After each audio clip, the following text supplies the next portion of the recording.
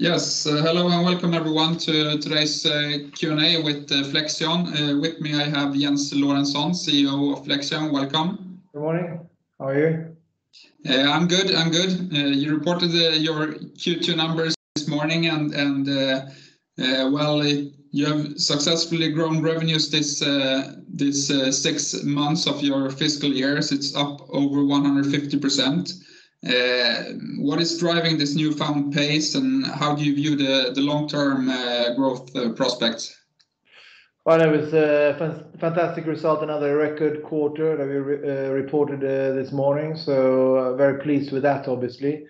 Um, what's driving the growth, I mean, in the early part of the year, we had, as everyone else, positive impact from the corona lockdowns everywhere in the world.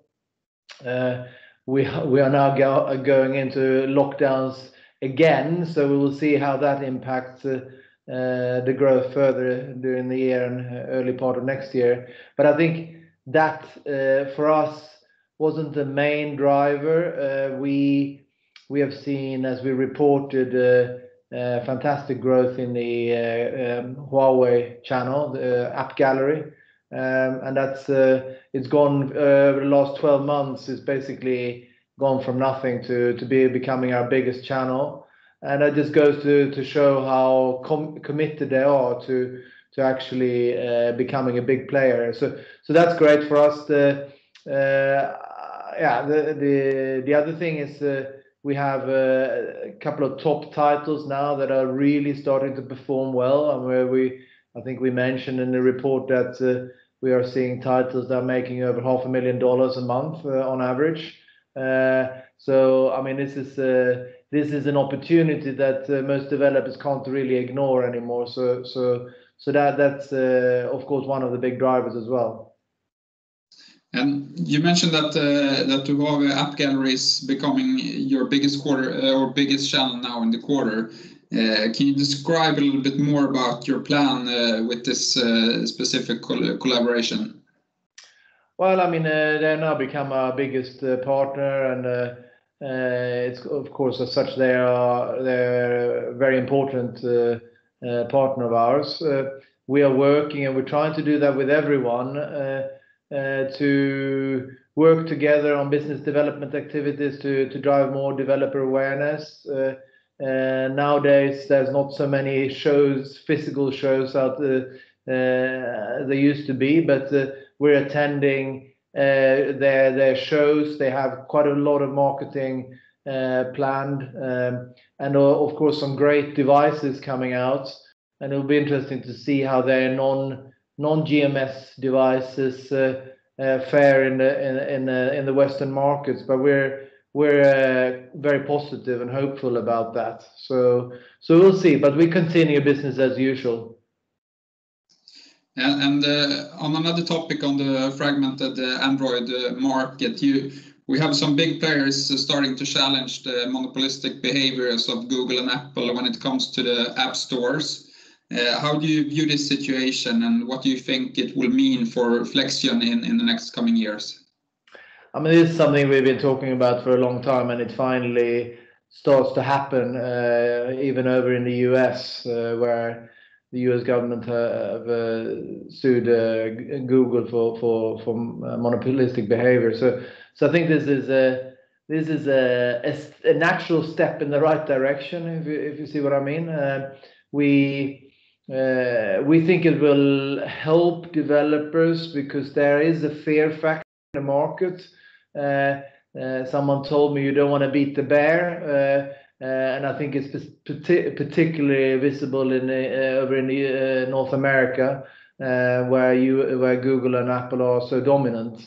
In the rest of the world, it's less so, but I do think that um, when players like Epic, not only in the game segment, but also, of course, Spotify, that we are familiar with in Sweden, when they make uh, make these kind of uh, steps, uh, it will have impact sooner or later. I think this is good for for for, for everyone in the ecosystem.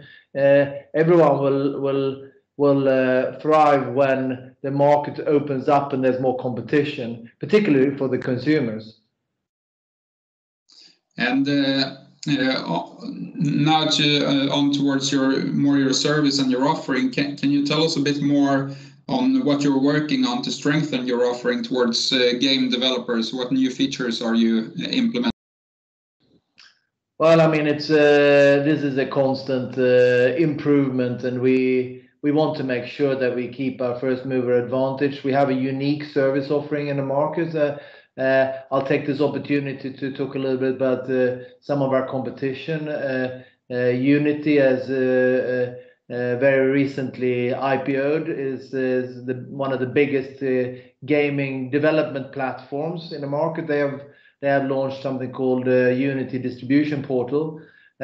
We don't consider that to be a competition to us because they come in more on the tool side, and basically offer Um, uh, do-it-yourself solution. Whereas Flexion, we work very closely with the biggest game developers in the market, and uh, we've designed a service offering that basically helps them uh, with most of their problems, starting very early in the phase with the with integration and ending with the reporting and settlement. So we basically take care of everything in that uh during that journey, so to say. And and to complement that service offering is something that we're working on regularly. So, so you'll see more features coming there. I can't specifically go into to exactly what features uh, we will be releasing, but that's a constant uh, work in progress. Perfect. And uh, just to round this off, you're now entering the busy Christmas period where we tend to play a lot of games during the holidays. Uh, what will be most important for Flexion to be successful during this uh, time of year? I mean, We always see uh, a good take-up during the holidays, and it usually starts around the end of November with Black Friday and Cyber Monday, particularly in the U.S. We've got some fairly big promotions planned for some of our top games. Uh, and this this continues into the the Christmas period. We we announced uh, we launched four games uh, during the quarter that we just reported, and those games will start gaining some momentum during the Christmas quarter. That's at least what we're hoping for. So as you know, it always takes a little bit of time to get the steam going, uh, as we depend very much on organic traffic. But having now uh, having a portfolio of 20 titles or so, uh, we can leverage that, particularly with the with the channels like Huawei and Amazon and Samsung. So so we're looking forward to to a great Christmas period. I think the first part of the quarter will be uh, quite stable, and then uh, and then we'll start gaining momentum as we come further into the quarter. And uh, just the other week, we started seeing some new lockdowns in Europe. Have you seen any effect on your established portfolio because of the lockdowns or not? No, uh, we we have been under constant restrictions uh, in most part of Europe. Uh, uh, I mean, as a matter of fact, today, we we are, we we're in full lockdown mode in in the U.K. So you know you can still go to work if you have to, like this important interview. But you know it's um, I don't expect any major change. I think Uh, the market was kind of taken by surprise uh, earlier in the year, but we got used to it now. So I think uh, I'm not expecting to see any further positive impact, but who knows?